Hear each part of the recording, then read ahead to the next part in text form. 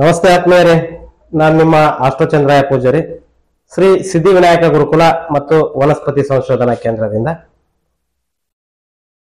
ಆತ್ಮೀಯರೇ, ಎರಡು ದಿನ ನಿಮಗೆ ಪಾಠವನ್ನ ಕೊಡಕ್ ಆಗಿಲ್ಲ.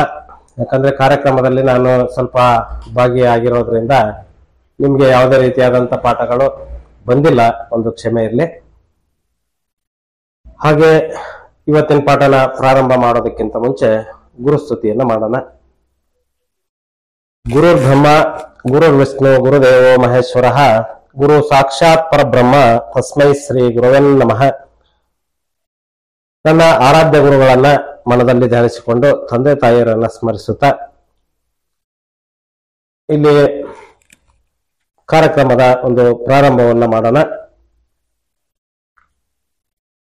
ಕಾರ್ಯಕ್ರಮದ ಪ್ರಾರಂಭದಲ್ಲಿ ಹಿಂದಿನ ಪಾಠ ನಾನು ಏನ್ ಹೇಳಿದ್ದೀನಿ ಅಂತಂದ್ರೆ ಏನ್ ಹೇಳಿದ್ದೆ ಹಿಂದಿನ ಪಾಠದಲ್ಲಿ? ಹಾ ಶತ್ರು ಮತ್ತು ಶತ್ರು ಮಿತ್ರ ಮತ್ತು ಸಮಗ್ರಹಗಳ ಬಗ್ಗೆ ಹಿಂದಿನ ಪಾಠದಲ್ಲಿ ನಾನು ತಿಳಿಸಿಕೊಟ್ಟಿದ್ದೆ. ಇವತ್ತಿನ ಪಾಠದಲ್ಲಿ ಒಂದು ಗ್ರಹಗಳ ಗುಣ ಸ್ವರೂಪ ಅನ್ನುವಂತ ವಿಚಾರವನ್ನ ಇವತ್ತು ತಿಳ್ಕೊಳ್ಳುವಂತ ಒಂದು ಪ್ರಯತ್ನವನ್ನು ಮಾಡೋಣ. ಗ- ಇದು ತಿಳ್ಕೊಳ್ಳುವಂತ ಅವಶ್ಯಕತೆ ಏನಂತ ಕೇಳಿದ್ರೆ ವರ್ಣಾತ್ಮಕ ವಿಭಾಗ. ಗ್ರಹಗಳ ಒಂದು ವರ್ಣಾತ್ಮಕ ವಿಭಾಗ.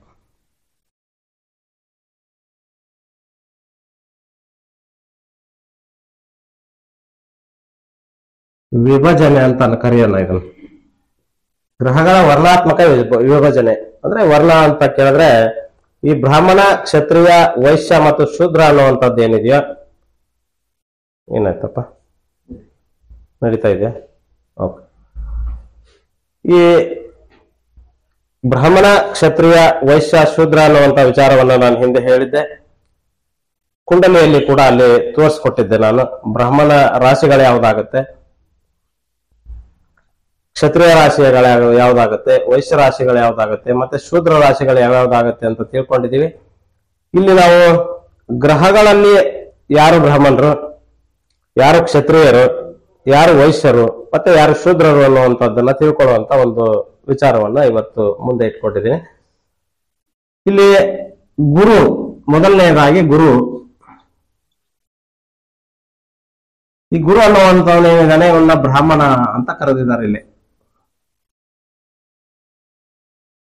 ಗುರು ಬ್ರಾಹ್ಮಣ. ಇಲ್ಲಿ ಒಂದ್ ಕಡೆ ಶುಕ್ರರನ್ನು ಕೂಡ ಏನಂತ ಕೇಳಿದ್ರೆ ಇಲ್ಲಿ ಬ್ರಾಹ್ಮಣ ಅಂತಾನೆ ಕರೀತಾರೆ.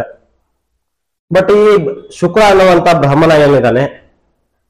ಇವನು ತಂತ್ರ ವಿದ್ಯಾಪಾರಂಗತ ಅನ್ನುವಂತ ವಿಚಾರ ತಿಳಿದು ಬರುತ್ತೆ ಇದು ಯಾಕಂದ್ರೆ ಇವನು ಕೂಡ ಇಲ್ಲಿ ಜಲಕಾರಕನಾಗಿರೋದ್ರಿಂದ ವೈಶ್ಯ ತತ್ವ, ವ್ಯಾಪಾರಿ ಗುಣಗಳು ಅನ್ನುವಂಥದ್ದು ಇವನ ಹತ್ರ ಇರುತ್ತೆ. ಇಲ್ಲಿ ಕೆಲವು ಕಡೆ ಇವನನ್ನ ಬ್ರಾಹ್ಮಣ ಅಂತ ಕರೆದ್ರೂ ಕೂಡ ಇಲ್ಲಿ ನಾನು ವೈಶ್ಯ ಅಂತ ಹೇಳಿ ಹೇಳಕ್ ಇಷ್ಟಪಡ್ತೀನಿ. ಯಾಕಂತಂದ್ರೆ ವ್ಯಾಪಾರಿ ಅಂದ್ರೆ ಕ್ರೋಢೀಕರಣ. ಈಗ ಹಣ ಕ್ರೋಢೀಕರಣ ಮಾಡೋರು ಯಾರು? ಗುರುವಿನ ಹತ್ರ ಹಣ ಇದೆ ಇಟ್ಕೊಳ್ಳೋದು ಕೊಟ್ಟಿದ್ದಾರೆ, ಯಾಕಂದ್ರೆ ಅವನು ಖರ್ಚು ಮಾಡಲ್ಲ. ಹಾಗಾಗಿ ಅವನ ಹತ್ರ ಹಣವನ್ನ ಕೊಟ್ಟಿದ್ದಾರೆ, ಬಟ್ ಕ್ರೋಢೀಕರಣ ಗುರು ಮಾಡಲ್ಲ. ಗುರುವಿಗೆ ಹಣವನ್ನ ಕ್ರೋಢೀಕರಣ ಮಾಡಕ್ ಬರಲ್ಲ. ಹಾಗಾಗಿ ಶುಕ್ರನನ್ನ ಇಲ್ಲಿ ಏನಂತ ಕೇಳಿದ್ರೆ ವಯಸ್ಸಿನ ಒಂದು ಜಾತಿಯಲ್ಲಿ ನಾನು ಇಲ್ಲಿ ಸೇರಿಸ್ತಾ ಇದ್ದೀನಿ. ಗುರು ಅನ್ನುವಂತಹದ್ದು ಬ್ರಾಹ್ಮಣ ಆಯ್ತು. ಆಮೇಲೆ ರವಿ ಮಂಗಳ. ರವಿ ಮಂಗಳ. ಇವರಿಬ್ರು ಸೇರಿ ಏನಂದ್ರೆ ಕ್ಷತ್ರಿಯ.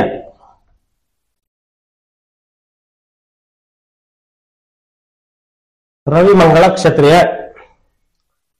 ಇನ್ನ ಚಂದ್ರ ಮತ್ತು ಶುಕ್ರ ವೈಶ್ಯ.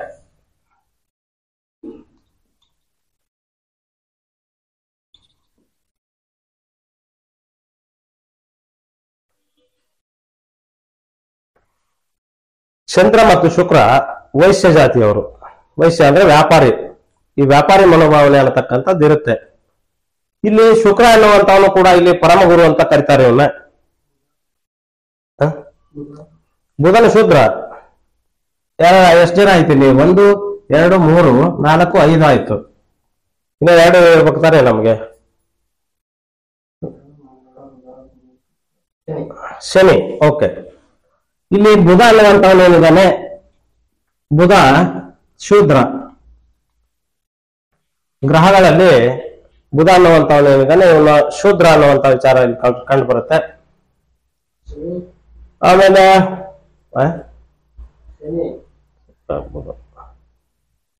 ಸರ್ ಚಂದ್ರ. ಇಲ್ಲಿ ಇದು ಕೂಡ ಒಂದ್ ಸ್ವಲ್ಪ ತಪ್ಪಾಗ ಕಾಣಿಸ್ತಾ ಇದೆ. ಸರಿ ಮಾಡ್ಕೊಂಡ್ಬಿಡೋಣ ಇದನ್ನ. ಇಲ್ಲಿ ಶುಕ್ರ ಇದಲ್ಲಲ್ಲ? ಇವನೆಲ್ಲ ಬ್ರಾಹ್ಮಣರಲ್ಲಿ ಸೇರಿಸ್ಕೊಂಡ್ಬಿಡಲ್ಲ? ಬ್ರಾಹ್ಮಣ ತತ್ವಗಳ ಜ್ಞಾನ ಇದೆ ಅವನ ಹತ್ರ. ಜ್ಞಾನ ಇದೆ, ಬಟ್ ಅವನು ವ್ಯಾಪಾರಿ ಮನೋಭಾವನೆ ಅವನಲ್ಲಿ ಇರುತ್ತೆ. ಬಟ್ ಇಲ್ಲಿ ಬುಧನನ್ನು ಕೂಡ ನಾವು ಕಂಪ್ಲೀಟ್ ಆಗಿ ಶೂದ್ರ ಅಂತ ಕರೆಯಕ್ ಆಗಲ್ಲ. ವೈಶ್ಯ ಗುಣಗಳ ಅವನ ಹತ್ರ ಇದೆ ವಿಷ್ಣು ಅವನು. ಹಾಗಾಗಿ ಇಲ್ಲಿ ಶನಿಯನ್ನ ನಾವು ಶೂದ್ರ ಅಂತ ಕರಿಬೇಕಾಗತ್ತೆ ಈ ಫೋಟೋನ ನೀವು ಬದಲಾಯಿಸ್ಬಿಟ್ರೆ ಹ? ಈ ಫೋಟೋನ ಬದಲಾಯಿಸ್ಬಿಟ್ರೆ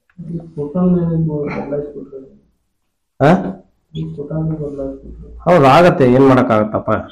ಬುಧ, ಚಂದ್ರ. ಚಂದ್ರ ಮತ್ತು ಬುಧ ವೈಶ್ಯ. ಇಲ್ಲ ಇಲ್ಲ ಬರ್ದಿದ್ದೀನಲ್ಲ ನಾನು. ಚಂದ್ರ, ಬುಧ. ಚಂದ್ರ ಮತ್ತು ಬುಧ ಏನಿದ್ದಾರೆ, ಇವರು ವೈಶ್ಯ ಜಾತಿಗೆ ಸೇರಿದವರು. ಆಮೇಲೆ ಬರಿತೀನಿ. ಶನಿ ಶೂದ್ರ.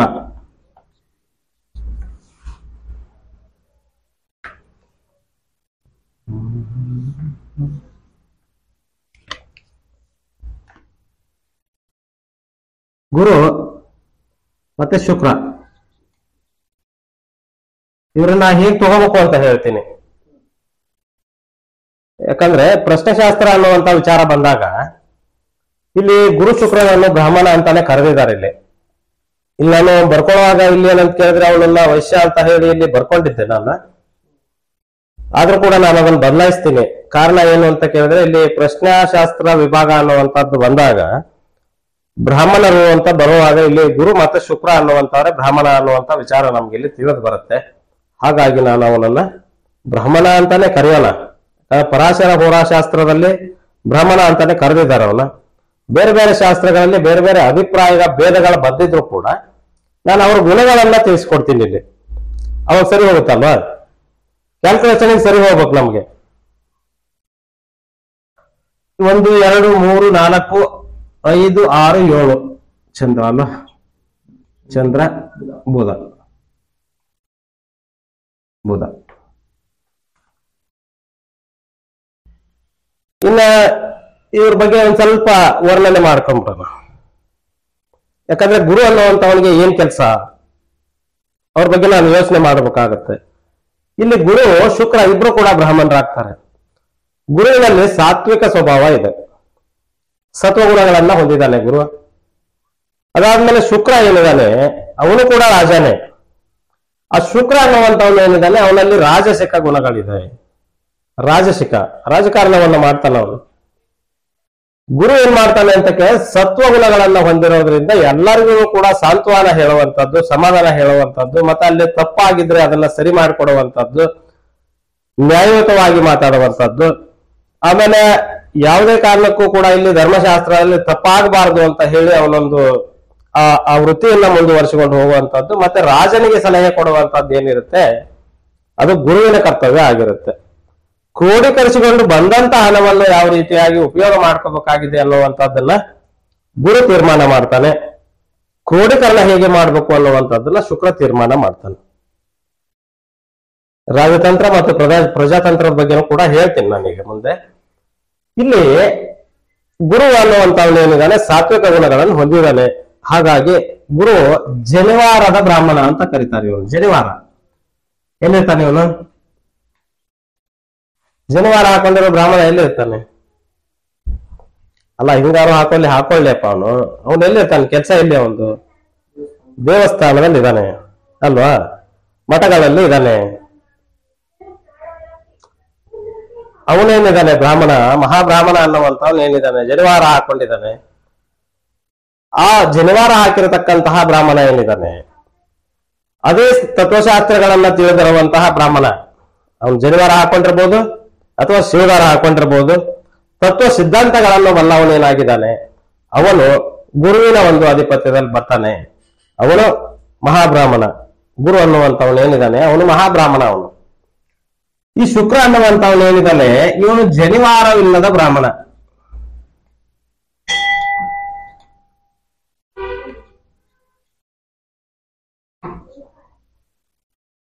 ಇವನಲ್ಲಿರ್ತಾನೆ ಆಗಿರ್ಬೋದು, ಸ್ಮಶಾನದಲ್ಲಿರಬಹುದು, ತಂತ್ರಶಾಸ್ತ್ರ ವಿಭಾಗದಲ್ಲಿರ್ಬೋದು ಪ್ರಯೋಗ ವಿಭಾಗದಲ್ಲಿರ್ಬೋದು ಯಾಕಂದ್ರೆ ತಂತ್ರ ಪ್ರಯೋಗಗಳನ್ನ ಮಾಡ್ತಾ ಇರ್ತಾನೆ, ಮಾಟ ಮಂತ್ರಗಳನ್ನ ಮಾಡುವಂತವ್ರು ಕೂಡ ಅಲ್ಲಿ ಅನೇಕ ಜನರಾಗಿರ್ತಾರೆ. ಅನೇಕ ವಿದ್ಯೆಗಳನ್ನ ಬಳಸಿ ತನ್ನ ಒಂದು ಹಿಡಿತವನ್ನ ಸಾಧಿಸೋದಕ್ಕೆ ಒಂದು ರಾಜ ವ್ಯವಸ್ಥೆ ಅಂದ್ರೆ ಏನು, ಒಂದು ರಾಜಕಾರಣವನ್ನು ಬಳಸ್ತಾನೆ ಅವನು. ಅಂದ್ರೆ ತನಗೇನ್ ಬೇಕಾಗಿದೆಯೋ ಅದನ್ನ ಪಡ್ಕೊಳ್ಳೋದಕ್ಕೆ ಏನ್ ಬೇಕಾದ್ರೂ ಮಾಡ್ತಾನೆ. ಹಿಂದೆ ಹೇಳಿದ್ದೆ ನಾನು, ಶುಕ್ರ ಅಂದ್ರೆ ಹೆಂಡತಿ ಅಂತ. ಸುಖಕಾರಕ, ಆಸೆಗಳು ಜಾಸ್ತಿ ಅಂತ ಹೇಳಿದ್ನಲ್ಲ, ಇವಾಗ ಅವನ ಕರ್ತವ್ಯಗಳನ್ನು ಕೂಡ ಇಲ್ಲಿ ನಾನು ನೆನಪಿಸ್ತಾ ಇದ್ದೀನಿ. ಅಲ್ಲಿ ಮನೆಯಲ್ಲಿ ಹೆಂಡತಿ ಆದ್ಲು, ಸಮಾಜದಲ್ಲಿ ಒಂದು ಕರ್ತವ್ಯ ಇರುತ್ತಲ್ಲ ಅವ್ನಿಗೆ. ಹಾಗಾಗಿ ರಾಜಕಾರಣ ಮಾಡುವಾಗ ಏನು ಸಾತ್ವಿಕವಾಗಿ ಹೇಳಿದ್ರೆ ಯಾರು ಕೇಳ್ತಾರ? ಕೇಳಲ್ಲ ಯಾರು, ದೊಡ್ಡ ದೊಡ್ಡ ಪ್ರಾಜೆಕ್ಟ್ ಗಳನ್ನ ಮಾಡ್ಬೇಕು ಅಂತ ಕೇಳಿದ್ರೆ ಸಾತ್ವಿಕವಾಗಿ ಹೇಳಿದ್ರೆ ಯಾರು ಕೇಳ್ತಾರ? ಈಗ ಗುರುಗಳಿದ್ದಾರೆ ಮಠದಲ್ಲಿ, ಅವ್ರ ಮಾತು ಕೇಳ್ಕೊಂಬಂದ್ ಮಾಡ್ತಾರ ಇವರು. ಇಲ್ಲ, ಅದಕ್ಕೆ ಶುಕ್ರನೇ ಸರಿ.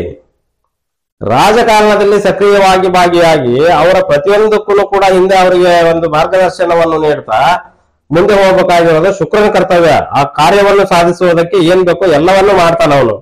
ಆದ್ರೆ ಅದರಲ್ಲಿ ಒಂದಿಷ್ಟು ತಪ್ಪಾಗ್ಬಹುದಲ್ಲ ಅವನಿಗೆ ತಪ್ಪಾಗತ್ತೋ ಸರಿಯಾಗತ್ತೋ ಗೊತ್ತಿಲ್ಲ. ಅದೆಲ್ಲ ಬೇಕಾಗಿಲ್ಲ ಅವನಿಗೆ. ಅವನಿಗೆ ಆಗ್ಬೇಕಾಗಿರೋ ಕೆಲಸ ಆಗ್ಬೇಕು ಅಷ್ಟೇ. ನೀನ್ ಏನ್ ಮಾಡ್ತೀವಿ ನನಗೆ ಗೊತ್ತಿಲ್ಲ. ಮನೆ ಬರುವಾಗ ಸ್ತೋಮ ಅಂತ ಎಂತ ಹೇಳಿರ್ಲಿಲ್ಲ. ಅದೇ ರೀತಿಯಾಗಿ ರಾಜ ಹೇಳಿದ್ದಾನೆ ನೀನ್ ಏನ್ ಮಾಡ್ತೀವಿ ನನಗೆ ಗೊತ್ತಿಲ್ಲ, ಈ ಕೆಲಸ ಆಗ್ಬೇಕು ಅಂತ ರಾಜ ಹೇಳಿದಾನೆ. ಅದಕ್ಕಾಗಿ ಅವನ್ ಏನ್ ಬೇಕಾದ್ರೂ ಮಾಡೋದಕ್ಕೆ ರೆಡಿ ಇದಾನಲ್ಲ, ಅವನು ಶುಕ್ರ. ಹಾಗಾಗಿ ಅವನು ಜನಿವಾರವಿಲ್ಲದ ಬ್ರಾಹ್ಮಣ. ಅವನಿಗೆ ಗೊತ್ತಿಲ್ಲ ಶಾಸ್ತ್ರ? ಗೊತ್ತು ತಾನೆ? ಹ. ಹಿಮಕುಂಡ ಮೃಣಾಲಾಭಾಂ ದೈತ್ಯಾನಾಂ ಪರಮಂ ಗುರುಂ ಸರ್ವಶಾಸ್ತ್ರ ಪ್ರವಕ್ತಾರಂ ಭಾರ್ಗವಂ ಪ್ರಣಮಾಮ್ಯಹಂ. ಅಲ್ವಾ? ಅವನಿಗೆ ಎಲ್ಲ ಗೊತ್ತು. ಆದರೆ ಅವನು ಸಾತ್ವಿಕನಲ್ಲ, ರಾಜಸಿಕನಾಗಿರೋದ್ರಿಂದ ಅವನು ಜನಿವಾರವಿಲ್ಲದ ಬ್ರಾಹ್ಮಣ. ಓಕೆನಾ? ವ್ಯತ್ಯಾಸ ಗೊತ್ತಾಯ್ತಾ ಇವರಿಬ್ಬರಿಗೂ? ಓಕೆ, ಇನ್ನು ರವಿ ಮಂಗಳ ಅನ್ನುವಂಥವ್ರು ಕ್ಷತ್ರಿಯ. ಈ ಕ್ಷತ್ರಿಯ ಅನ್ನೋದ್ರಲ್ಲಿ ನೋಡು, ಇವನಿಗೆ, ಈ ರವಿ ಇದ್ದಾನಲ್ಲ ಇವನಿಗೆ ಸಾತ್ವಿಕ ಗುಣಗಳಿದೆ. ಸಾತ್ವಿಕ ಗುಣ ಇದೆ ಅವರಿಗೆ. ಸತ್ವ, ರಜ ಮತ್ತು ತಮೋ ಗುಣಗಳಲ್ಲಿ ರವಿಗೆ ಸಾತ್ವಿಕ ಗುಣ ಇದೆ. ಯಾಕೆಂದ್ರೆ ಅವನು ತಂದೆ. ರವಿಗೆ ಸಾತ್ವಿಕ ಗುಣ ಇದ್ರೆ ಅವ್ನು ರಾಜ ಅಂತ ಹೇಳಿ. ಹ್ಮ್ ಸಾತ್ವಿಕ ಗುಣ ಇದ್ರೆ ರಾಜ್ಯವನ್ನು ಆಳಕ್ಕಾಗಲ್ಲ ಅಪ್ಪ. ಆಗ್ಬೋದು ಯಾಕಂದ್ರೆ ರಾಜ ಕ್ರೂರಿ. ಪುರುಷ. ಸತ್ವ ಗುಣ ಹೆಂಗ್ ಬಂತು ಮತ್ತೆ ಅಪ್ಪ ನೀನ್ ಸಾಯಿಸಲ್ವಲ್ಲ? ಸಾಯಿಸ್ತಾನ? ಅಲ್ಲ ಸಾಯಿಸ್ಬೋದಾ? ಸಾಯಿಸ್ಬೋದು. ಅಣ್ಣ ತಮ್ಮ ಅಕ್ಕ ತಂಗಿ ಕೋಪ ಬಂದ್ರೆ ಸಾಯಿಸ್ಬೋದು. ಅಪ್ಪ ಸಾಯಿಸಲ್ಲ. ಯಾಕಂದ್ರೆ ಅವನು ತಾನೇ ಹುಟ್ಟಿಸಿರೋದು. ಹಾಗಾಗಿ ರಾಜನಿದ್ದಾನಲ್ಲ ಅವನು ಪ್ರಜೆಯನ್ನ ಸಾಯಿಸಲಿಲ್ಲ. ಆದರೆ ಈ ಇವನಿದಾನಲ್ಲ ಕುಜ, ಇವನು ಸಾಯಿಸುವ ಕೆಲಸವನ್ನು ಮಾಡುತ್ತಾನೆ. ಹಾಗಾಗಿ ಇವನಿಗೆ ಅಸೂಯ ಬುದ್ಧಿ ಅನ್ನತಕ್ಕಂಥದ್ದಿದೆ ಇವನು ತನಗೆ ನಾನು ಸಿಗಲಿಲ್ಲ ಅಂತ ಕೇಳಿದ್ರೆ ಇವನು ಸಾಯಿಸ್ತಾನೆ. ಹೊಡಿ, ಬಡಿ, ಕಡಿ, ಇವನು ಡಿಪಾರ್ಟ್ಮೆಂಟ್ ಮಾಡ್ತಾನೆ ಇವನು ಏನ್ ಮಾಡ್ತಾನೆ ಅಂದ್ರೆ ಇವನನ್ನು ಹೊಡಿತಾನೆ. ಎಲ್ಲಾರ್ಗು ತೊಂದರೆ ಕೊಡ್ತಾ ಇದ್ರೆ ಇವನು ನೋಡಿತಾನ ಅವನು. ಯಾಕಂತ ಕೇಳಿದ್ರೆ ಅವ್ನು ಎಲ್ಲಾರನು ಅವನು ತಾನೇ ಹೋಗ್ಸಿರೋದು ಅವನ ಮಕ್ಕಳು. ಆಮೇಲೆ ಇಲ್ಲಿ ರಾಜತಾಂತ್ರಿಕ ವ್ಯವಸ್ಥೆನಲ್ಲೂ ಕೂಡ ರಾಜ ಆಗಿರ್ತಾನೆ ಇವನು. ಇವನೇನಾದ್ರು ಎದ್ದು ಹೋಗಿ ಯಾರನ್ನಾರು ಹೊಡೆಯಕ್ ಹೋಗ್ತಾನ? ಇವನಿಗೆ ಹೇಳಿದಾನ ಅವನು. ಅವ್ರನ್ನ ನಿಯಂತ್ರಣ ಮಾಡುವಂತ ಹೇಳಿದಾನೆ. ಇವನೇನ್ ಮಾಡ್ತಾನೆ? ಇವನಿಗೆ ಒಂದಿಷ್ಟು ಅಸೂಯ ಗುಣಗಳಿದೆ. ಹಾಗಾಗಿ ಇವನ್ ಮಾತು ಕೇಳಿಲ್ಲ ಅಂದ್ರೆ ಹಿಡ್ಕೊಂಡು ಒದಿತಾನ ಅವನು. ಅವಾಗ ಏನಾಗುತ್ತೆ? ಈಗ ಈಗ ನಾವು ಸಾಮಾಜಿಕವಾಗಿ ಇಲ್ಲಿ ನಮ್ಮ ರಾಜ್ಯದಲ್ಲಿ, ನಮ್ಮ ದೇಶದಲ್ಲಿ ನೋಡೋದಾದ್ರೆ, ಇವನು ಉತ್ತಮ, ಮಂಗಳ ಅನ್ನುವಂತ ನೀನು ಕೇಳಿದ್ರೆ ಸೇನಾಧಿಪತಿ ಆಗಿದ್ದಾನೆ, ಪೊಲೀಸ್ ಅಧಿಕಾರಿ ಆಗಿದ್ದಾನೆ, ಒಂದು ಅತ್ಯುನ್ನತ ರಕ್ಷಣಾ ಕಾರ್ಯದಲ್ಲಿದ್ದಾನೆ ಅವನು. ಇವನು ನಮಗೆ ರಕ್ಷಣೆ ಕೊಡ್ತಾ ಇದ್ದಾನೆ. ಅದೇ ಬಾರ್ಡರ್ ವಿಚಾರಕ್ಕೆ ಹೋದಾಗ? ಬಾರ್ಡರ್ ವಿಚಾರಕ್ಕೆ ಹೋಗಿದೀವಿ ಅಂತ ಇತ್ತು ಈಗ. ಆ ಬಾರ್ಡರ್ ವಿಚಾರಕ್ಕೆ ಹೋದಾಗ ಏನ್ ನಡೆಯುತ್ತೆ ಅಂತ ಕೇಳಿದ್ರೆ, ಅವನೇನು ಅಲ್ಲಿ ಬುದ್ಧಿ ಹೇಳಕ್ಕಾಗತ್ತಾ? ಕರ್ಕೊಂಬಂದು ಹಿಡ್ಕೊಂಬಂದು ಒಯ್ಯಕ್ಕಾಗತ್ತಾ ಇಲ್ಲ ಅವ್ನು ಶೂಟ್ ಮಾಡ್ಬೇಕಲ್ಲಿ. ಸಾಯಿಸ್ಬೇಕು. ರಕ್ತಪಾತ ಮಾಡ್ಬೇಕು ಅವನು. ಹೊಡಿಬೇಕು ಅವನ್ನ ಅಲ್ಲಿ ಇರುತ್ತೆ ತಾನೇ ಅದು. ಹಾಗಾಗಿ ಇವನಿಗೆ ಆ ಗುಣಗಳು ಅನ್ನುವಂಥದ್ದು ಇದೆ ಮುಂದೆ ತಂತ್ರಶಾಸ್ತ್ರ ಇದರಲ್ಲಿ ಬರುತ್ತೆ ಇದು. ಏನು ಪ್ರಶ್ನೆಶಾಸ್ತ್ರ ವಿಭಾಗದಲ್ಲಿ ಈಗ ಒಂದು ಮರಣ ಆಗಿದೆ ಅಂತ ಕೇಳಿದ್ರೆ ಒಂದು ಪ್ರೇತ ಈಗ ಪ್ರೇತ ದೋಷದ ಬಗ್ಗೆ ಹೇಳ್ತಾ ಹೋಗ್ತೀವಿ ನಾವಲ್ಲಿ. ಆ ಪ್ರೇತ ಯಾವ ಜಾತಿಯ ಪ್ರೇತ ಅನ್ನುವಂಥದ್ರಲ್ಲಿ ಆಮೇಲೆ ಒಂದು ನಿಮಗೆ ಮೇಲೆ ಪ್ರಯೋಗ ಮಾಡಿದ್ದಾರೆ ಅಂತ ಹೇಳ್ತೀವಿ ನಾವು. ಯಾರು ಪ್ರಯೋಗ ಮಾಡಿದ್ದಾರೆ ಅಂತಂದಾಗ ಬ್ರಾಹ್ಮಣನ, ಕ್ಷತ್ರಿಯನ, ವೈಶ್ಯನ, ಶೂದ್ರನ ಯಾರು ಮಾಡಿದ್ದಾರೆ ಅಂತ ತಿಳ್ಕೊಳ್ಳುವಂತ ವಿಚಾರಗಳು ಬರುತ್ತೆ ಅಲ್ಲಿ. ಹಾಗಾಗಿ ಇದು ತುಂಬಾ ಮುಖ್ಯ ಇದು. ಇಲ್ಲ, ಇವರಲ್ಲಿ ಗುಣ ಅನ್ನುವಂಥದ್ದು ಇವನಿಗೆ ಅಸೂಯ ಗುಣದ ಅನ್ನತಕ್ಕಂಥದ್ದಿದೆ ಹಾಗೆ ಇವನಿಗೆ ಹೊಡಿ, ಬಡಿ, ಕಡಿ ಇವೆಲ್ಲ ಗುಣಗಳಿದೆ. ಇವನಿಗೆ ದುರ್ಮರಣ ಅನ್ನುವಂಥದ್ದು ಇವನು ವಿಭಾಗದಲ್ಲಿ ಬರುತ್ತೆ. ಹಾಗಾಗಿ ಎಲ್ಲ ರೀತಿಯ ಒಂದು ತೊಂದರೆಗಳು ಅನ್ನುವಂಥದ್ದು ಬರುತ್ತೆ. ಆ ಕಾಲಪುರುಷ ಕುಂಡಲಿಯ ಅಷ್ಟಮ ಸ್ಥಾನ ಅನ್ನುವಂಥದ್ದು ಏನಿದೆಯೋ, ಆ ಪೀಡೆ, ಅಷ್ಟಮ ಅಷ್ಟಮ ಅನಿಷ್ಟ ತಾನೆ? ಆ ಸಾವು. ಅದರಿಂದ ನಾವು ಇದನ್ನ ಹೇಳಿದ್ನಲ್ಲ, ಏನು? ಆ, ಆಯಸ್ಸು. ಅದು ಕೂಡ ಅಲ್ಲಿಂದ ನಿರ್ಧಾರ ಆಗುತ್ತೆ. ಅದು ಕುಜನೇ ಅಧಿಪತಿ ತಾನೆ. ಕುಜ ದೋಷ ಇದ್ದವನಿಗೆ ಹೊಡೆದಾಟ, ಬಡದಾಟ ಆಗತ್ತೆ ಅಂತ ಕೂಡ ನಾನು ಹೇಳಿದ್ದೆ ಹಿಂದೆ. ಈಗ ಮತ್ತೆ ಹೇಳ್ತಾ ಇದ್ದೀನಿ ಕುಜ ದೋಷ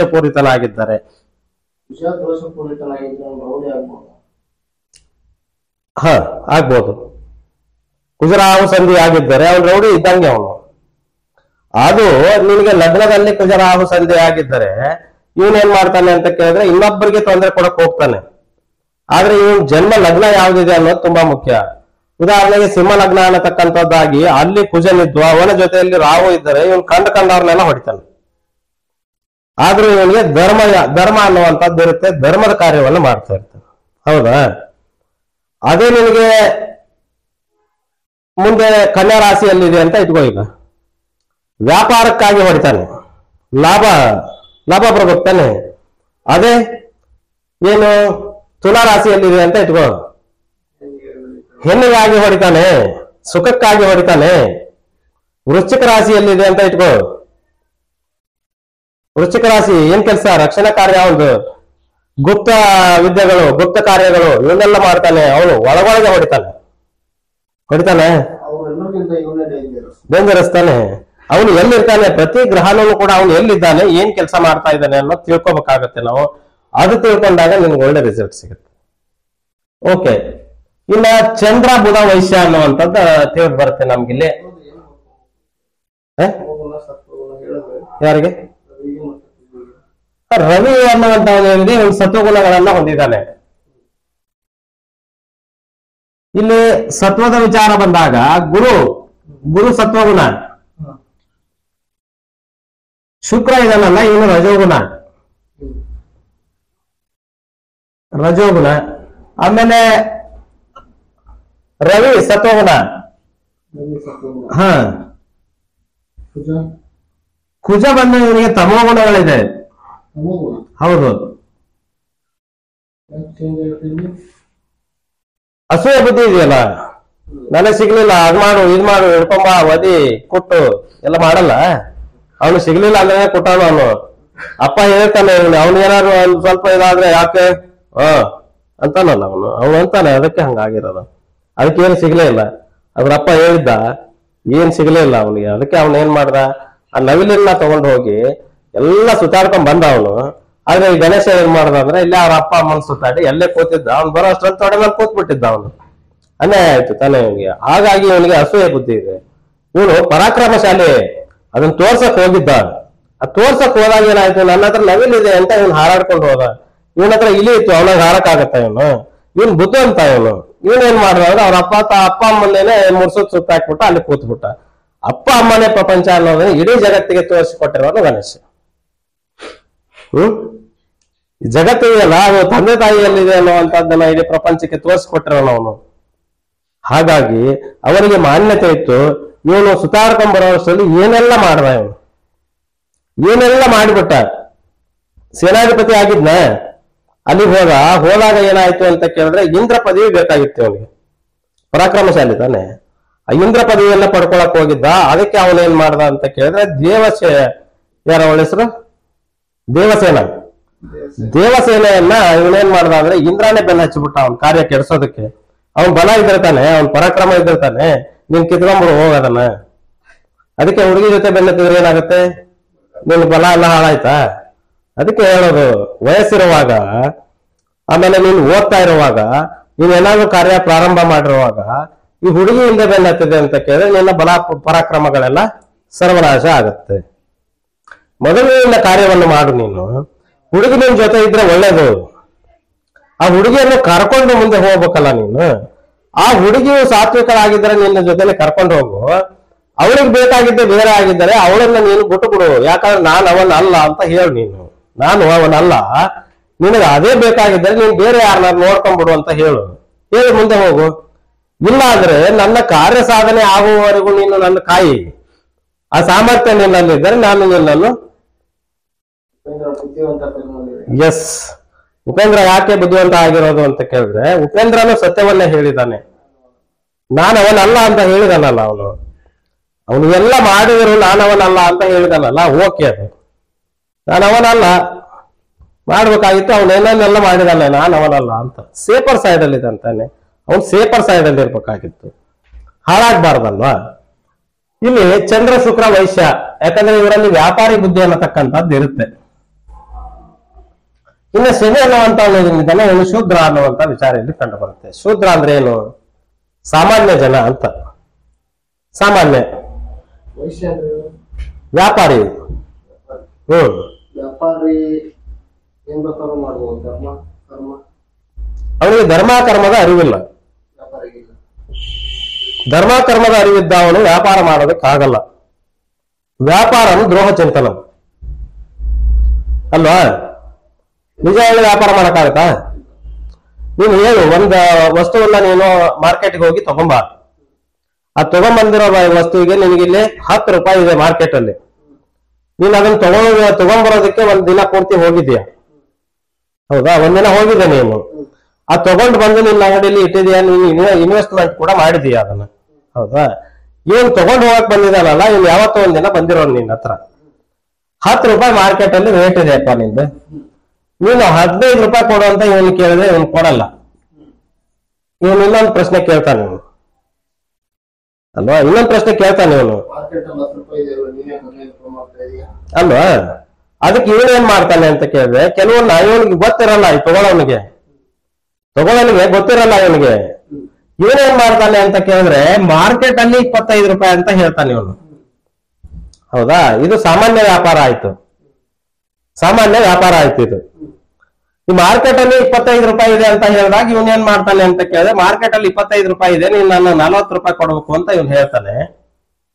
ಅವಾಗ ಅಟ್ಲೀಸ್ಟ್ ಇವನ್ ಏನ್ ಮಾಡ್ತಾನೆ ಅಂತ ಕೇಳಿದ್ರೆ ಇವನೊಂದು ಮೂವತ್ತರಿಂದ ಮೂವತ್ತೈದು ರೂಪಾಯಿಗಾದ್ರೂ ಒಪ್ಕೋತಾನೆ. ಅಲ್ವಾ? ಲಾಭ ಆಯ್ತಾ? ಮೂವತ್ತು ರೂಪಾಯಿ ಬಂದ್ರೆ ಒನ್ ಡಬಲ್ ಟ್ರಿಬಲ್ ಲಾಭ ಆಯ್ತಲ್ಲ, ಸಾಕು, ಇನ್ನೇನಿದೆ? ಅದು ಸಾಮಾನ್ಯ ವ್ಯಾಪಾರ ಆಯ್ತು. ನಿಮ್ಮಂತವ್ರಿಗೆ ಕಳ್ಕೊಂಡೆ ಬರೋದು ನೀವೇನ್ ತಗೊಂಡ್ ಬರಲ್ಲ ಮನೆಗೆ ಲಯಕಾರಕರು ಅದು ಲಯಕಾರಕರ ಬಗ್ಗೆ ಹೇಳ್ತೀನಿ. ಕಳ್ಕೊಂಡ್ ಬರೋರು ಯಾರು? ತಗೊಂಡ್ ಬರೋರು ಯಾರು ಅಂತ ಆಮೇಲೆ ಹೇಳ್ತೀನಿ. ಅದನ್ನು ಕೂಡ ತಿಳ್ಕೊಂಡಿರ್ಬೇಕಾಗತ್ತೆ. ನೀನ್ ಬರೀ ದುಡ್ಡು ನಿನ್ ಜೋಬದಿಂದ ಬಂದಿರೋದು ದುಡಿಯೋದು ದುಡ್ಡು ಖರ್ಚು ಮಾಡೋದು ಗೊತ್ತಿದೆ ನಿನಗೆ. ಹೌದಾ? ಅದನ್ನ ತಗೊಂಬಾ, ಇದನ್ನ ತಗೊಂಬಾ, ಅವ್ರಿಗೆ ಉಪಕಾರ ಮಾಡು, ಇವ್ರಿಗೆ ಉಪಕಾರ ಮಾಡು. ಇದು ಗೊತ್ತಿದೆ ನಿನಗೆ ವಿನಃ. ನೀನು ಪಡ್ಕೊಳ್ಳೋದು ಹೇಗೆ ಅಂತ ಗೊತ್ತಿಲ್ಲ. ಗೊತ್ತಿಲ್ಲ ತಾನೇ? ಅದು ಗೊತ್ತಿತ್ತು ಅಂತ ಕೇಳಿದ್ರೆ ನೀನು ಯಾಕೆ ಈಗ ಕೂತ್ಕೋತಾ ಇದ್ದೆ? ನಿನ್ನ ಹತ್ರ ದುಡ್ಡು ಇರ್ತಾ ಇತ್ತು, ನಿನ್ನ ಹತ್ರ ಮನೆ ಇರ್ತಾ ಇತ್ತು, ಕಾರ್ ಇರ್ತಾ ಇತ್ತು. ನಾನ್ ಸತ್ಯವನ್ನ ಹೇಳ್ತಾ ಇದ್ದೀನಲ್ಲ ಇಲ್ಲಿ. ಈ ಸತ್ಯವನ್ನು ಹೇಳೋದಕ್ಕೆ ಡಿಫ್ರೆಂಟ್ ವಿಧಾನಗಳಿದೆ. ನಾನು ಹೇಳಿದ್ದೀನಿ ಕ್ರೂರವಾಗಿ ಸತ್ಯವನ್ನ ಹೇಳಿದ್ದೀನಿ ಯಾರು ಒಂದ್ ರೂಪಾಯಿ ಕೊಟ್ರ? ಇಲ್ಲ, ನಾಳೆಯಿಂದ ಆನಂದವಾದ ಸತ್ಯವನ್ನ ಹೇಳ್ತೀನಿ. ನೀನ್ ನನಗೆ ದುಡ್ಡು ಕೊಡ್ಬೇಕು. ನಂದೆ. ಇಲ್ಲಿ ಏನ್ ಹೇಳಿದಾವೆ ಗುರು ಬ್ರಹ್ಮ ಗುರು ವಿಷ್ಣು, ಗುರುದೇವೋ ಮಹೇಶ್ವರ ಅಂತ ಹೇಳಿಲ್ಲ. ಗುರುವಿನಲ್ಲಿ ಸೃಷ್ಟಿ ಸ್ಥಿತಿ ಲಯಾದಿಗಳು ಎಲ್ಲ ಇರ್ತಾವಂತ. ಹೌದಾ? ಇರ್ತಾವ ಇಲ್ವಾ ಅಂತ ತೋರಿಸ್ಬೇಕು ನಾನು. ಅವಾಗ ಹೇಳಿ- ಹೇಳಿದಾಗ ಏನಾಗಿದೆ? ನಿಮ್ಗೆ ಹಣ ಬಂದಿಲ್ಲ. ಹೌದಾ? ಅದು ಏನಾಯ್ತು? ಸತ್ಯವನ್ನ ಹೇಳಿದ್ದಾಯ್ತು. ಈಗ ಸೃಷ್ಟಿ ಕಾರ್ಯ ಅಂತೂ ಇಲ್ಲಿ ಆಗ್ತಾ ಇದೆ. ಇಲ್ಲಿ ಸೃಷ್ಟಿ ಮಾಡ್ತಾ ಇದ್ದೇನಲ್ಲ? ಇದು ಸೃಷ್ಟಿ ಕಾರ್ಯ ಆಯ್ತು. ಅದು ಲಯ ಕಾರ್ಯ ಆಯ್ತು. ಸ್ಥಿತಿಗೆ ನಾನಿಲ್ಲ ಬಂದಿಲ್ಲ. ಯಾಕೆ ಬಂದಿಲ್ಲ ಅಂತ ಕೇಳಿದ್ರೆ ಮೊದಲು ನಿನಗೆ ನನ್ನ ನನ್ನ ಬಗ್ಗೆ ನಿನಗೆ ಪರಿಚಯ ಆಗದ ಹೊರತು ನಾನೇನು ಸ್ಥಿತಿ ಮಾಡಕ್ ಬಂದ್ರೆ ನೀನು ಹೂ ಅಂತೀಯಾ? ಅಲ್ವಾ? ಅನ್ನಕ್ ಸಾಧ್ಯ ಇದೆಯಾ? ನನ್ನ ಬಗ್ಗೆ ನಿನಗೆ ಪರಿಚಯನೇ ಆಗ್ಲಿಲ್ಲ ಅಂತ ಕೇಳಿದ್ರೆ ನಾನು ಹೇಳಿದ್ ನೀನು ಒಪ್ಕೊಳ್ಳಲ್ಲ ಮೊದಲು ನನ್ನ ಪರಿಚಯ ನಿನಗಾಗ್ಲಿ. ನಾನು ಏನಾದ್ರೂ ಕೊಡಬಹುದಾ ನಿನಗೆ ಅಂತ ಹೇಳಿ ಒಂದ್ಸಾರಿ ಥಿಂಕ್ ಮಾಡು. ಅವಾಗ ನಿನಗೇನಾದ್ರೂ ಸಿಗುತ್ತೆ ಅನ್ನೋಂಗಿದ್ರೆ ನನ್ನ ಜೊತೆ ಬಾ. ಇಲ್ಲ ಅಂದ್ರೆ ಬರಬೇಡ ನನ್ನ ಜೊತೆ ಬರಬೇಡ ನೀನು ರಿಜೆಕ್ಟ್ ಮಾಡು ನನ್ನನ್ನು. ಮತ್ತೆ ಬೇಕಾದಷ್ಟು ಕೆಲಸ ಇದೆಯಲ್ಲ ನಿನಗೆ? ಅಲ್ವಾ? ನಿನಗೆ ಬೇಕಾಗಿದ್ದು ಕ್ವಾಲಿಟಿ ಕ್ವಾಂಟಿಟಿ ಅದೇನಾದ್ರೂ ನನ್ನ ಹತ್ರ ಸಿಗುತ್ತೆ ಅಂದ್ರೆ ನೀನ್ ನನ್ನ ಜೊತೆಲಿ ಬರ್ಬೇಕು. ಈಗ ಅಂಗಡಿಗೆ ಹೋಗಿರ್ತೀಯ? ಹೋಟೆಲ್ಗೆ ಹೋಗಿದ್ಯಾ? ಒಂದು, ನಿನಗೆ ಟೇಸ್ಟ್ ಚೆನ್ನಾಗಿರ್ಬೇಕು. ಎರಡನೇದು, ನೀನ್ ಕೇಳಿದ ಅವ್ರು ಕೊಡ್ಬೇಕು. ಕೇಳಿದ ಟೈಮ್ ಕೊಡ್ಬೇಕು ಕ್ವಾಲಿಟಿ ಇರ್ಬೇಕು ಕ್ವಾಂಟಿಟಿ ಇರ್ಬೇಕು ಅವ್ರ ಮನಸ್ಸಿಗೆ ಆನಂದ ಆಗ್ಬೇಕು, ನೀನ್ ಬಿಲ್ ಕೊಡುವಾಗ ಅಲ್ಲಿ ಕೂತಿರೋದು ವೇಟಿಂಗ್ ಚಾರ್ಜ್ ಅವನ್ನೆಲ್ಲ ಸೇರಿಸಿ ನೀವು ಬಿಲ್ ಹಾಕಿದ್ರು ಕೂಡ ಆನಂದ ಆಗತ್ತೆ ಅದು. ಟಿಪ್ಸ್ ಬೇರೆ ಕೊಡ್ಬೋದು, ಆನಂದ ಆದ್ರೆ. ನಿನಗೆ ಆನಂದ ಆಗ್ಲಿಲ್ಲ ನೀನ್ ಯಾಕೆ ಕೊಡ್ತೀಯ? ಅವ್ನು ಗೂಗಲ್ ಬಿಟ್ಟು ಬರ್ತೀಯ ನೀನು? ಅಲ್ಲ, ಅದೇ ರೀತಿ ಎಲ್ಲದರಲ್ಲೂ ಇರುತ್ತೆ. ಮೊದಲು ನಾನು ಖಾರವಾಗಿ ಹೇಳಿದ್ದೀನಲ್ಲ ಅದರಲ್ಲಿ ಏನಾದ್ರು ಸತ್ಯಾಂಶ ಇದೆಯಾ ಅಂತ ತಿಳ್ಕೊಂಡಿದ್ದೆ ಸತ್ಯಾಂಶ ಇದ್ದದ್ದೇ ನಿಜವಾದರೆ ನಾನು ಇವಾಗ ಏನ್ ಹೇಳ್ತೀನಿ ಅಂತ ಕೇಳಿದ್ರೆ ನಾನು ಮುಂದಿನ ಭಾಗಕ್ಕೆ ಬರ್ತೀನಿ. ಸೃಷ್ಟಿ ಅಂತ ಆಯ್ತು, ಇಲ್ಲಿ ಮಾಡಿದ್ದೀನಿ. ಲಯ ಮಾಡಿದ್ದೀನಿ. ಸ್ಥಿತಿ ಮಾಡಿಲ್ವಲ್ಲ ಅದಕ್ಕೆ ನಿನಗೆ ಕೋಪ ಬಂದಿರೋದು ನನ್ನ ಮೇಲೆ. ನೀವ್ ಯಾಕೆ ಉಲ್ಟಾ ಮಾಡಿದ್ರಿ ಅಂತ ಕೋಪ ಬಂದಿರೋದು? ಮೇಲೆ ನನ್ನ ಬಗ್ಗೆ ನಿನ್ಗೆ ಗೊತ್ತಾಗ್ಬೇಕಲ್ಲ? ಫಸ್ಟ್ ಸೃಷ್ಟಿ ಮಾಡ್ಬೇಕು ಆಮೇಲೆ ಸ್ಥಿತಿ ಮಾಡ್ಬೇಕು ಆಮೇಲೆ ಲಯ ಮಾಡ್ಬೇಕು. ಎಲ್ಲರೂ ಅದನ್ನೇ ಮಾಡಿರೋದಲ್ಲ ನೀವು ಲಯ ಮಾಡ್ಬಿಟ್ಟು ಸೃಷ್ಟಿ ಮಾಡ್ಬಿಟ್ಟು ಮತ್ತೆ ಹೌದಪ್ಪ ನನ್ನಂತವ್ರು ಬೇಕಾದಷ್ಟು ಜನ ಇದ್ದಾರಲ್ಲ ನೀನ್ ನನ್ನ ಮೇಲೆ ಹೇಗೆ ನಂಬಿಕೆ ಬರುತ್ತೆ ನಿನಗೆ? ನನ್ನಂತವ್ರು ಬೇಕಾದಷ್ಟು ಜನ ನೋಡಿದೀಯಲ್ಲ ನೀನು? ಅಲ್ಲಿ ಬರ್ರಿ ಅದನ್ನ ಕೊಡ್ತೀನಿ ಇಲ್ಲಿ ಬರ್ರಿ ಇದನ್ನ ಕೊಡ್ತೀನಿ. ಗಾನಕ್ ಬಾ, ಗಸಿ ಕೊಡ್ತೀನಿ, ಮನೆಗ್ ಬಾ, ಮಸಿ ಕೊಡ್ತೀನಿ. ಸಾಯಂಕಾಲ ಬಾ, ನಿನ್ ತಲೆ ಮೇಲೆ ಟೋಪಿ ಹಾಕ್ತೀನಿ, ಇವೆಲ್ಲ ಮಾಡಿಲ್ವಾ? ನನ್ನಂತ ನೋಡಿಲ್ಲ ನೀನು. ನೋಡಿದೀಯ ತಾನೆ? ನನ್ ಜೊತೆಲಿ ಬಂದಿಲ್ಲ. ಬಂದಿದ್ಯಾ ತಾನೆ? ಟೋಪಿ ಎಷ್ಟು ಚೆನ್ನಾಗಿ ಹಾಕ್ತಾರಂತ ನಿನ್ ಗೊತ್ತಿಲ್ಲ? ಹೇಳ್ಕೊಡ್ತೀನಿ ಅಂತ ಹೇಳಿ ಏನು ಹೇಳ್ಕೊಡದೆ ಇರೋರು ನೋಡಿಲ್ಲ. ಎರಡು ದಿನ ಬಾಳ ಹತ್ರ ಒಂದು ಸರ್ಟಿಫಿಕೇಟ್ ಕೊಡ್ತೀನಿ ಅಂತ ಅವ್ರು ನೋಡಿಲ್ಲ. ಆ ಸರ್ಟಿಫಿಕೇಟ್ ತಗೊಂಡು ನೀನೇನಾದ್ರು ಉದ್ಧಾರ ಆಗಿದೆಯಾ? ಬಹುಮಾನ ತಗೊಂಡು ನೀನೇನಾದ್ರು ಉದ್ಧಾರ ಆಗಿದೆಯಾ? ನಮ್ಮ ಹತ್ರ ಸರ್ಟಿಫಿಕೇಟ್ ಕೊಳ್ತಾ ಇದಾವಲ್ವಾ? ಇಡೋದಕ್ಕೆ ಜಾಗ ಇಲ್ಲ ಅಲ್ವಾ? ಮತ್ತೆ ಏನ್ ಮಾಡ್ತೀಯ ನೀನ್ ಅದನ್ನ ತಗೊಂಡು? ನನ್ನಿಂದ ನಿಮಗೆ ಒಂದು, ಒಂದ್ ಪೈಸಾದಷ್ಟು ಪ್ರಯೋಜನ ಆಗ್ಲಿ. ಒಂದ್ ಪೈಸಾದಷ್ಟೇ ಆಗ್ಲಿ ಅದು. ಈಗ ನಿನ್ಗೊಂದು ಕಷ್ಟ ಇದೆಯಪ್ಪ, ಒಂದ್ ದುಃಖ ಇದೆ ನೋವು ಇದೆ ನಿನಗೆ ಅಂತ ಇಟ್ಕೋ ಆ ನೋವಿಗೆ ನಾನೊಂದು ಟ್ವೆಂಟಿ ಪರ್ಸೆಂಟ್ ತರ್ಟಿ ಪರ್ಸೆಂಟ್ ಆದ್ರೂ ನಿನಗೆ ರಿಲೀಫ್ ಕೊಡ್ಬೇಕಲ್ವಾ? ನಾನು ಒಂದೇ ದಿನ ಹಂಡ್ರೆಡ್ ಪರ್ಸೆಂಟ್ ಕೊಡ್ತೀನಿ ಅಂತ ಹೇಳಲ್ಲ. ಕೊಡ್ತೀನಿ ನಾನು ಹಂಡ್ರೆಡ್ ಪರ್ಸೆಂಟ್ ನನ್ನ ಹತ್ರ ಇದೆ. ನಿನಗೆ ನಾನು ಭರವಸೆ ಕೊಡಲ್ಲ. ಯಾಕೆ ಭರವಸೆ ಕೊಡಲ್ಲ ಅಂತ ಕೇಳಿದ್ರೆ ಅಬ್ಬರದಲ್ಲಿ ಬಿಬ್ಬಿರಿಸಿ ಹೋದವನಿಗೆ ಬೆಲೆ ಇಲ್ಲ. ಅವನು ಕೊಡಕ್ ಆಗಲ್ಲ. ನಾನು ಹಂಡ್ರೆಡ್ ಪರ್ಸೆಂಟ್ ಮಾಡ್ಬಿಡ್ತೀನಿ ಅಂತ ಅವನು ಕೊಡಲ್ಲ. ನನಗೆ ಗೊತ್ತಿದೆ ಅದು. ಅವನು ವ್ಯಾಪಾರಿ ಅವನು. ನಾನು ವ್ಯಾಪಾರಿ ಅಲ್ಲ. ನಿನ್ನ ನೋಡಿಗೆ ನಾನು ಸಾಂತ್ವನ ಕೊಡಬೇಕಾಗಿದೆ. ನಾನು ಕೊಡ್ತೀನಿ, ಕೊಡುವಷ್ಟು ಸಾಮರ್ಥ್ಯ ಇದೆ ನನಗೆ. ನನ್ನ ಗುರುವಿನಲ್ಲಿ ಕಲ್ತಿದ್ದೀನಿ ಅದನ್ನೆಲ್ಲ. ನಿನಗೆ ನಾನು ಮೂವತ್ ಪರ್ಸೆಂಟ್ ಕೊಡ್ತೀನಿ ಅಂತ ಭರವಸೆ ಕೊಡ್ತೀನಪ್ಪ. ಮೂವತ್ ಪರ್ಸೆಂಟ್ ತಗೋ. ನೀನು ನನಗೆ ಅವಾಗ ನೂರು ರೂಪಾಯಿ ಕೊಡು. ಅಲ್ವಾ? ನೂರು ರೂಪಾಯಿ ಕೊಡೋಲ್ಲ ನನಗೆ ಮೂವತ್ ಪರ್ಸೆಂಟ್ ತಗೋ. ಇನ್ನೊಂದು ಇಪ್ಪತ್ ಪರ್ಸೆಂಟ್ ಮತ್ತೆ ಎಕ್ಸ್ಟ್ರಾ ರೈಸ್ ಮಾಡ್ತೀನಿ ನಾನು. ಟೈಮ್ ಬೇಕಲ್ಲ ನಾನು ನಿನಗೆ ಕೊಡೋದಕ್ಕೆ. ನೀನು ಒಂದು ದಿನ ಎಲ್ಲಾ ಟ್ಯಾಬ್ಲೆಟ್ ನುಂಗಿ ಬಿಡ್ತೀಯಾ? ಒಂದು ದಿನ ಎಲ್ಲಾ ಟ್ಯಾಬ್ಲೆಟ್ ನುಂಗಿದ್ರೆ ಹೋಗ್ಬಿಡ್ತೀಯ ಮೇಲೆ? ಅದಕ್ಕೆ ನಾನು ಮೂರು ದಿನ ಕೊಡ್ಬೇಕಲ್ಲ ನಿನ್ಗೆ ಅದನ್ನ? ಒಂದು ಕೋರ್ಸ್ ಅಂದ್ರೆ ಮೂರು ದಿನ ತಾನೆ?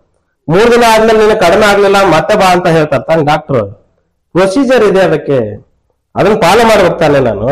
ಹಾಗಾಗಿ ನಾನು ಮೊದಲು ಏನ್ ಮಾಡಿದ್ದೀನಿ? ಲಯ ಮಾಡಿದ್ದೀನಿ. ಸೃಷ್ಟಿ ಆದ್ಮೇಲೆ ಲಯ ಮಾಡಿಬಿಟ್ಟೆ ನಾನು. ಕೆಟ್ಟ ಬುದ್ಧಿ ತಾನೇ ಲಯ ಅಂದ್ರೆ ಕೆಟ್ಟದ್ದಲ್ಲ ಅದು. ಅದೇ ಒಳ್ಳೆಯದು ಆ ಸತ್ಯ ನಿನಗೆ ತಿಳಿದಿದ್ದರೆ ನೀನು ನನ್ನನ್ನು ನಂಬು. ನೀನು ನಿನ್ನ ಮನಸಾರೆ ನಂಬು. ಆಗ ನಿನ್ನ ಕೆಲಸ ಆಗತ್ತೆ. ಅರಬ, ಅರೆ ಬರೆ ನಂಬಿಕೆಯಿಂದ ನೀನು ನನ್ನ ಜೊತೆಲಿ ಬಂದ್ರೆ ಇನ್ನಕ್ಕೆ ಕೆಲಸ ಆಗಲ್ಲ. ಯಾಕಂದ್ರೆ ಅದಕ್ಕೊಂದು ಸೈನ್ಸ್ ಇದೆ. ಅದಕ್ಕೆ ಸೈನ್ಸ್ ಇದೆ. ಆ ಸೈನ್ಸ್ ನಾನು ಯೂಸ್ ಮಾಡಿಕೊಂಡು ನಿನಗೆ ನಾನು ಟ್ರೀಟ್ ಮಾಡ್ತಾ ಹೋದಂಗೆ ನಿನ್ನ ಸಮಸ್ಯೆಗೆ ಪರಿಹಾರ ಆಗ್ತಾ ಬರುತ್ತೆ.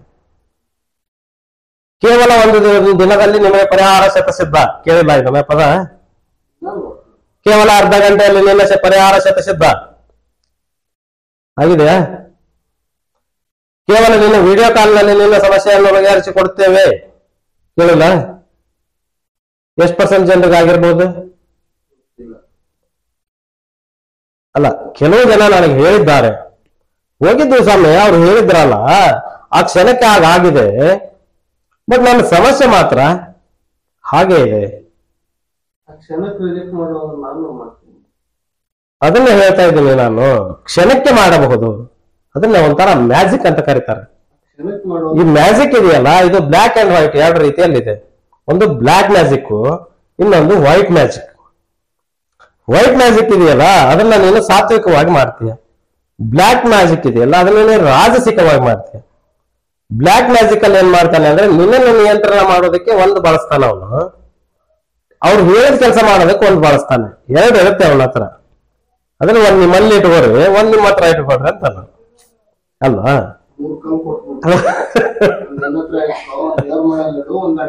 ಅಲ್ವಾ? ಅಂದ್ರೆ ಒಂದು ನಿನ್ನ ನಿಯಂತ್ರಣ ಮಾಡ್ಬೇಕು. ಯಾಕಂದ್ರೆ ನೀನು ಅವನು ಹೇಳ್ದಂಗೆ ಕೇಳ್ಬೇಕು ಅದು ರಾಜತಂತ್ರ. ರಾಜಕೀಯ ಅದು. ಆ ರಾಜಕಾರಣ ಮಾಡಲಿಲ್ಲ ಅಂದ್ರೆ ಇವ್ರು ಕೇಳಲ್ಲ. ಕೆಲಸ ಆದ್ಮೇಲೆ ಬರ್ತಾರ? ಬರಲ್ಲ. ಹಾಗಾಗಿ ಅವನೇನ್ ಮಾಡಿದಾನೆ ಅಂದ್ರೆ ಅವನು ವ್ಯಾಪಾರ ಧರ್ಮದವನು ಏನ್ ಮಾಡ್ತಾನೆ ಅಂದ್ರೆ ಮೊದಲು ಇವನನ್ನ ನಿಯಂತ್ರಣ ಮಾಡೋದಕ್ಕೆ ಒಂದು ಕೊಟ್ಟಿರ್ತಾನೆ. ಆಮೇಲೆ ಅದನ್ನು ನಾನು ಅನೇಕ ವಿಚಾರಗಳಲ್ಲಿ ಇಂಥವೆಲ್ಲ ನನ್ನ ಹತ್ರ ಕಂಪ್ಲೇಂಟ್ಸ್ ಬಂದಿರುತ್ತೆ. ಒಂದೊಂದು ಒಂದ್ಸಾರಿ ನಾನು ಅವ್ರ ಹತ್ರ ಹೋಗಿದ್ದೆ. ನಾನೊಂದು ಕಂಪ್ಲೇಂಟ್ ತಗೊಂಡು ಹೋಗಿದ್ದೆ. ಅವ್ರು ಹೇಳಿದ್ ಮಾತ್ರ ಹಂಡ್ರೆಡ್ ಪರ್ಸೆಂಟ್ ಆಯ್ತು. ಬಟ್ ನಾನು ಅವ್ರನ್ನ ಬಿಟ್ಟು ಏನು ಮಾಡಕ್ ಆಗ್ತಾ ಇಲ್ವಲ್ಲ ನನಗೆ ಅಂತ. ನಾನು ಪದೇ ಪದೇ ಅವ್ರ ಹತ್ರ ಹೋಗಿಲ್ಲ ಅಂತ ಕೇಳಿದ್ರೆ ನನಗೆ ಜ್ವರ ಬಂದ್ಬಿಡುತ್ತೆ. ನನ್ ಕೆಲಸ ಆಗೋದ್ ಬಂದ್ ಆಗ್ಬಿಡುತ್ತೆ. ಅದು ಏನು ಹೇಗೆ ಅದು? ಅದಕ್ಕೆ ನಾನು ಹೇಳೋದೇನು ಅಂದ್ರೆ ನೀನ್ ಅವನ ಹತ್ರ ಏನ್ ಕೆಲ್ಸಕ್ಕೆ ಹೋಗಿದ್ದೆ ಅಂತ ನನ್ನ ಪ್ರಶ್ನೆ. ಅಲ್ವಾ? ಗೊತ್ತಾಯ್ತು ಕಡೆ ಈಗ. ನೀವು ಕಂಡಾರ್ ಮನೆ ಹಾಳು ಮಾಡ್ಬೇಕು ಅಂತ ಅವನ ಹತ್ರ ಹೋಗಿದ್ದಾನೆ ಅವನು. ಅಲ್ಲಿ ಅವನ ಹತ್ರ ಸಿಗಾಕೊಂಡಿದ್ದಾನೆ ಅವನು ಅಲ್ಲ? ಅದಕ್ಕೆ ಅವನು ಏನ್ ಮಾಡಿದಾನೆ? ಕಂಡಾರ್ ಮನೆ ಹಾಳು ಮಾಡೋದು ಐಡಿಯಾ ಕೊಟ್ಟವನು ಇವನನ್ನು ಹಾಳು ಮಾಡೋ ಸಾಮರ್ಥ್ಯ ಸಾಮರ್ಥ್ಯ ಅವನಲ್ಲಿದೆ. ಅವನದು ಏನು ತಪ್ಪಲ್ಲ. ಮಾಡಿದವನಿದ್ದಾನಲ್ಲ ಅವನು ತಪ್ಪಲ್ಲ. ಈ ಮಾಡಿದವನಿದ್ದಾನಲ್ಲ ಇವನ್ ಪರಿವರ್ತನೆ ಆಗ್ಬೇಕಾಗಿ ಅದಕ್ಕೆ ಇಲ್ಲಿ ಸಾತ್ವಿಕ ಧರ್ಮದಲ್ಲಿ ಏನ್ ಹೇಳಿದ್ದಾರೆ ಅಂತ ಕೇಳಿದ್ರೆ ಮೊದಲು ನಿನ್ನ ಮನೇಲಿ ಇದಾನಲ್ಲ ಅವನು. ಅವನಿಗೆ ಏನ್ ಬೇಕಾಗಿದೆಯೋ ಸ್ವಲ್ಪ ಕೊಟ್ಟು ಬಿಡು. ಅವನೇ ನಿನ್ನ ಮಾತು ಕೇಳ್ತಾನೆ. ನೀನ್ ಯಾಕೆ ಇವನ ಹತ್ರ ಹೋಗಿದ್ಯಾ ಅಂದ್ರೆ ಇವನ್ ಕೇಳ್ತಾ ಇಲ್ಲ. ಇವನು ಅವನಿಗಿಂತ ಪರಾಕ್ರಮಶಾಲಿ ಆಗ್ಬೇಕಾಗಿದೆ. ಅದಕ್ಕೆ ನಾನು ಹೇಳಿದ್ದು ಬ್ರಾಹ್ಮಣ ಮಾಡಿದ್ದು ಪಿಂಡಕ್ಕೆ ಲಿಂಗಾಯತ ಮಾಡಿದ್ದು ದಂಡಕ್ಕೆ ಸಾಬರ್ ಮಾಡಿದ್ದು ಖಂಡಕ್ಕೆ ಈ ನೂರಾರು ಮಾಡಿದ್ದು ಹೆಂಡಕ್ಕೆ ಅಂತ. ನಾನು ಹೇಳಿದ್ದಲ್ಲ. ಇದೊಂದು ಶಾಸ್ತ್ರ ಬರುತ್ತೆ ಇದು. ಎಲ್ಲರಿಗೂ ಕತೆ ಮುಗಿತಾ ಅಲ್ಲಿಗೆ ನಮ್ಮ ಮನೆ ಬರೋಣ ಇಷ್ಟು ನನ್ನ ಹೇಳ್ಕೊಂಡು ಹೇಳ್ತಾ ಇದ್ದೀನಿ ನಾನೇನ್ ಬಿಟ್ಟಿದ್ದೀನಿ? ನಾನೇನ್ ನೋಡ್ಕೊಟ್ಟಿದ್ದೀನಿ ಅದರಲ್ಲಿ? ಇಲ್ಲ ನನ್ನ ಹಿಡ್ಕೊಂಡು ನಾವು ಎಲ್ಲಾರು ಅವರೇ. ನಾವು ಒಂದ್ ನಾಲ್ಕು ಎಕರೆ ಹೊಲ ಹೋಗ್ಲಿ ಬೇಕಾದ್ರೆ, ಆದ್ರೆ ಆ ನನ್ನ ಮಗ ಇದಾನಲ್ಲ ಅವನು, ಇವರಪ್ಪನ ಮಗ. ಆ ನನ್ನ ಮಗನಿಗೆ ಒಂದು ಗುಂಟೆ ಬಿಟ್ಕೊಡಲ್ಲ ಅಂತ ಹೇಳ್ತಾನೆ ಒಂದು ದಿಮಾಕಿದೆ ಇದು. ಲಿಂಗಾಯತನ ದಿಮಾಕಿದೆ ಹ್ಮ್, ಇದು ಲಿಂಗಾಯತನ ದಿಮಾಕು. ಆಯ್ತಾ? ಇನ್ನು ಬ್ರಾಹ್ಮಣ ಇದ್ದಾನೆ. ಆ ಮದುವೆಗೆ ಅಷ್ಟು ಖರ್ಚು ಮಾಡಲ್ಲ, ಅವನು ತಿಥಿ ಖರ್ಚು ಮಾಡ್ತಾನೆ. ಆದ್ರೂ ಅವನಿಗೆ ಪಿತೃದೋಷ ಹೋಗಲ್ಲ. ಅವನು ಬರಲ್ಲ. ಇಷ್ಟೊತ್ತಿಗೆ ಸಾಕಾಗಿ ಹೋಗಿರುತ್ತೆ ಅವನಿಗೆ, ಬ್ರಾಹ್ಮಣನಿಗೆ. ಅವನು ಎಲ್ಲಿ ಬರ್ತಾನೆ? ಅವನು ಬರಲ್ಲ. ಇವನು ಏನ್ ಮಾಡ್ಬೇಕಾಗಿತ್ತು ಅಂತ ಕೇಳಿದ್ರೆ, ಅದನ್ನ ಬಿಟ್ಟು ಅವನಿದ್ದಾಗ ಇವನು ಚೆನ್ನಾಗಿ ಅವನನ್ನು ನೋಡ್ಕೊಂಡಿದ್ರೆ ಅವನೇನ್ ಸತ್ ಮೇಲೆ ಪಿಂಡ ಬಿಡೋದು ಏನ್ ಬೇಕಾಗಿಲ್ಲ. ಆ ದೇವತೆಗಳಂತ ಇರುತ್ತೆ. ಮಾತೃವೇ ಬೇರೆ ಮಾತೃ ದೇವತೆ ಬೇರೆ. ಪಿತೃನೇ ಬೇರೆ ಪಿತೃ ದೇವತೆ ಬೇರೆ. ಈ ತೀರಿ ಹೋಗಿದ್ದಾನಲ್ಲ, ಇವನನ್ನ ಇರೋವರೆಗೂ ಚೆನ್ನಾಗಿ ನೋಡ್ಕೋಬೇಕು. ಇವನು ತೀರಿ ಹೋದ ಮೇಲೆ ಇವನಿಗೆ ಸದ್ಗತಿ ಪ್ರಾಪ್ತಿ ಆಗಲಿ ಅಂತ ಆ ದೇವತೆಯಲ್ಲಿ ಪ್ರಾರ್ಥನೆ ಮಾತೃ ಗೊತ್ತಾಯ್ತು? ಮಾತೃದೇವತೆ, ಪಿತೃದೇವತೆ, ಆಚಾರ್ಯ ದೇವತೆ. ಆಚಾರ್ಯ ದೇವತೆಯನ್ನ ಯಾಕೆ ನೆನೆಸ್ಕೋಬೇಕು ಅಂತ ಕೇಳಿದ್ರೆ, ಅವನು ಹಿಂದೆ ಇವರ ಪರಂಪರಾಗತವಾಗಿ ಇವರ ಗುರುವಾಗಿ ಬಂದಿರ್ತಾನೆ. ಅವನನ್ನ ಬಿಟ್ಟು ಇವ್ರು ಏನೇನು ಮಾಡಕ್ ಹೋಗಿರ್ತಾರಲ್ಲ, ಅವನಿಗೂ ಸ್ವಲ್ಪ ಅವನು ಇದ್ದಾನ? ಇದ್ದಾನೆ. ಹೇಗಿದ್ದಾನೆ? ಅವನು ಆತ್ಮ ಸ್ವರೂಪದಲ್ಲಿ ಇದ್ದಾನೆ ಸಚ್ಚಿದಾನಂದ ಆತ್ಮ ಇಸಿಕೊಳ್ತು ದೇವರು. ಗೊತ್ತಾಯ್ತಾ? ಅವನು ಮೇಲಿದ್ದಾನೆ ಆದ್ರೆ ಯಾವಾಗ ಅವನ ಅವಶ್ಯಕತೆ ಬೀಳುತ್ತೋ ಆಗ ಬರ್ತಾನೆ. ಅಂದ್ರೆ ಅವನನ್ನ ನೀನ್ ನೆನೆಸ್ಕೊಂಡ್ರೆ ಒಂದು ಕಾಸ್ಮಿಕ್ ಎನರ್ಜಿ ಬರುತ್ತೆ. ಅದೇ ಕಾಸ್ಮಿಕ್ ಎನರ್ಜಿ ಅಲ್ಲಿ ದೇವತೆಗಳಿದ್ದಾರೆ. ಎಲ್ಲಿದ್ದಾರೆ? ಹಿರಣ್ಯ ಗರ್ಭದಲ್ಲಿ ಇದ್ದಾರೆ ಅವಳನ್ನ ಪ್ರಾರ್ಥನೆ ಮಾಡಿ ಅವರನ್ನ ಆವಾಹನೆ ಮಾಡಿದ್ರೆ ಬರ್ತಾರೆ ಅನ್ನೋ ನಂಬಿಕೆಯಿಂದಾನೆ ಈ ವಿಗ್ರಹಗಳನ್ನ ಇಲ್ಲಿ ಇಟ್ಟಿದ್ದಾರೆ. ಹಾಗಾಗಿನೇ ಅವನನ್ನ ಆವಾಹನ ಆದಿ ಶ್ರೇಣಸ ಉಪಚಾರ ಕರ್ಮ ಮಾಡು ಅಂದ್ರು. ಆದಿ ಯಾವುದು? ಆವಾಹನೆ. ಅವನ್ ಕರಿಬೇಕಂದ್ರೆ ಏನಿರ್ಬೇಕು? ಬ್ರಹ್ಮರಂದ್ರ ಓಪನ್ ಇರ್ಬೇಕು. ಅದು ಓಪನ್ ಇರ್ಬೇಕಂದ್ರೆ ಏನ್ ಮಾಡ್ಬೇಕು? ತಲೆ ಸರಿ ಇರ್ಬೇಕು. ಅಲ್ವಾ? ಹಾಗಾಗಿ ಇದಕ್ಕೆ ಒಂದಕ್ಕೊಂದು ಪೂರಕವಾದ ಸಂಬಂಧ ಇದೆ. ಅದನ್ನ ತಿಳ್ಕೊಂಡಿರ್ಬೇಕು. ಯಾರಿಗೆ. ಇವರು ವೈಶ್ಯ ವ್ಯಾಪಾರಿಗಳು ಅಂತ. ಒಂದಿಷ್ಟು ಮೋಸ ಕೂಡ ಮಾಡಬಹುದು ವ್ಯಾಪಾರದಲ್ಲಿ. ಸತ್ವ ಆಯ್ತು ರಜಗುಣ ಆಯ್ತು ತಮೋಗುಣ ಆಯ್ತು. ಅಂದ್ರೆ ತಮೋಗುಣ ಈ ಶೂದ್ರ ಇದಾನಲ್ಲ ಇವನು ತಮೋಗುಣ ಹ ಹಾ. ಚಂದ್ರ? ಏನು ಆ, ಚಂದ್ರ ಸಾತ್ವಿಕ. ಹಾ ಚಂದ್ರ ಸಾತ್ವಿಕ. ಬುಧ? ಬುಧ ಬುಧನು ಕೂಡ ಇಲ್ಲಿ ತಾಮಸಿಕ ಹೌದು. ಇಲ್ಲಿ ಇವನನ್ನ ಬುಧನನ್ನ ನಾನಿಲ್ಲಿ ಹ್ಮ್ ರಾಜಸಿಕ ರಾಜಸಿಕ ಅಂತ ಕರೆಯೋಣ ರಾಜ. ಹೇಳಿದ್ನಲ್ಲ ಏನು ಅಂತ ಕೇಳಿದ್ರೆ ಹಿಂದೆ ಹೇಳಿದ್ದೀನಿ ನಾನು ರಾಜ ರಜೋಗುಣ. ಬುಧ ಮತ್ತು ಶುಕ್ರ ರಜೋಗುಣಗಳನ್ನ ಹೊಂದಿದ್ದಾರೆ. ಹಾಗಾಗಿ ಇವನು ರಜೋಗುಣ.